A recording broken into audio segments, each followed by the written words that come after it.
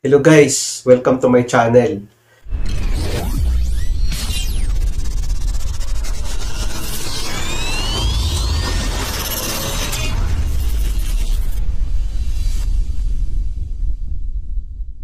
Ang pag-usapan natin ngayon ay yung diagram ng two-motor alternate operation part 1. Ito yung ibibigay kong diagram sa inyo guys sa control circuit. Ang function nito guys, alternate function ng motor nito. Ito kasi yung nakita ko dati sa Pilipinas, ginamit nila sa irrigation ng kanilang palay. Kaya gusto ko lang ibahagi sa mga baguhan ang diagram na ito. At least kung makainkwentro kayo ng ganitong situation, pwede nyo magamit ang diagram na ito. Kaya guys, umpisahan na natin ang diagramming.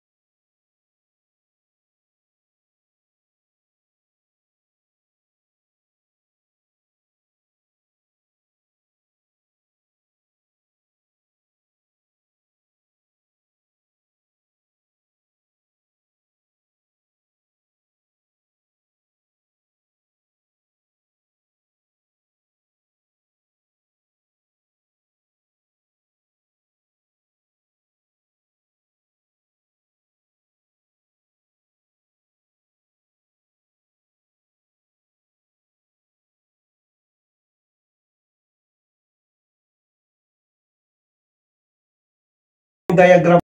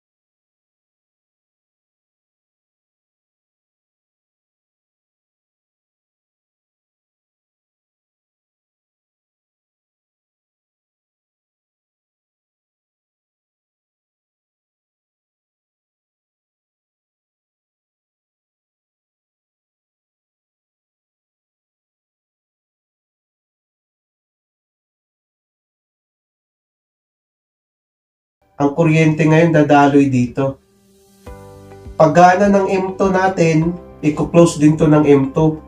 I-open naman ito ng M2. So bali mamamatay ang M1 natin at saka timer 1 kasi nag-open na dito. Mag-open naman itong timer guys. Ito nga pala yung timer 1 natin. Mag-open to ngayon kasi nag-open ang M2 natin. Gumana ngayon ang M2 at saka timer 2. After 30 minutes naman, i-open to ng timer natin. Pag open ngayon, mamamatay tong M2 natin. Pagpatay ng M2 natin, mag-open ito.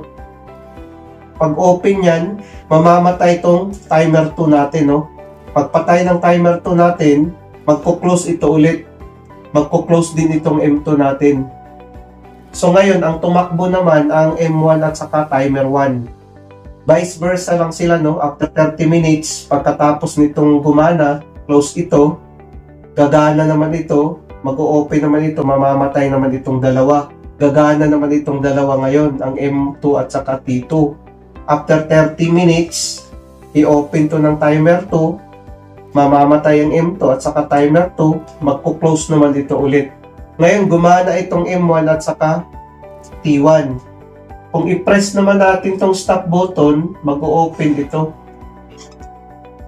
Ang kuryente ngayon hanggang dito na lang mamatay itong M1 at saka T1 natin at saka relay dahil mag-open ito. Mamamatay ang relay, M1 at saka T1 natin.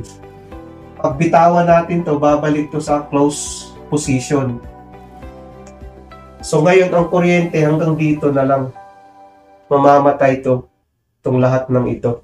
Ngayon kung i-press naman natin ulit, close naman ang contact nito, ang kuryente dadaloy dito. Pagana ng relay, i-close to ng relay. Pag bitawan natin tong start button, babalik to sa open position. Ang kuryente ngayon dadaloy dito. Gumana ngayon ang relay, pati dito din, ang M1 at saka T1. Ngayon guys, kung mag-trip naman itong M1 natin na kontaktor, kung saan nakakabit yung motor, automatic to guys, mag-o-open ito, mamamatay itong dalawa, automatic tatakbo ngayon ang M2 natin na contactor kung saan nakakabit yung motor. Pag open ito guys, magko-close naman ito. Dahil ito yung overload normally open, pag mag-trip, mag-normally close ito, itong normally close, mag-normally open. Ngayon, mamamatay itong dalawa kasi ang kuryente hanggang dito na lang dahil putol papunta sa neutral. Automatic pag close nito, ang kuryente ngayon dadaloy dito. Gagana ngayon ng M2 at saka timer 2. Ngayon, pag i-reset naman natin, babalik naman siya sa normal position.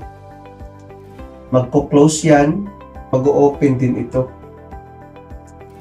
Ngayon, babalik sa sa position na ito na naman ang gagana. After 30 minutes, i-close ito, gagana naman itong dalawa, no? Mamamatay naman itong dalawa dahil mag-open ito.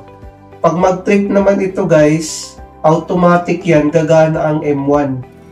M1 at saka timer 1. Mag-trip to, mag-open to, mamamatay itong M2 at saka timer 2. Pag close nito, gagana ngayon ang M1 at saka timer 1 ngayon, after 30 seconds, kung i-close to ng timer, hindi rin gagana ang dalawang ito dahil putol dito. Pag i-reset natin to, babalik siya sa normal position na mag-alternate ang operation nila, magpalit-palitan sila.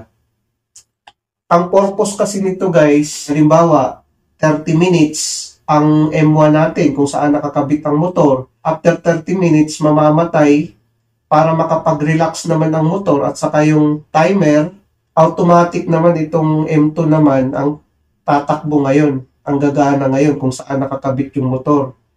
After 30 minutes naman, mamamatay to, salitan lang yan sila. Ngayon, kung i-stop natin, mag-open position ito, pag open position niya, mamamatay itong relay natin, mag-open ito. Pag itawan natin to, babalik to sa normal position na naka-close. So ngayon, mamamatay na itong device natin. Sana guys nakatulong ito sa mga baguhan. Sa mga hindi pa nakapag-subscribe sa akin channel o bago pa lang kayo sa channel ko, maaari po kayong mag-subscribe, pakipress ang notification bell para updated kayo sa susunod kong mga video. Maraming salamat sa inyo guys. Hanggang sa muli.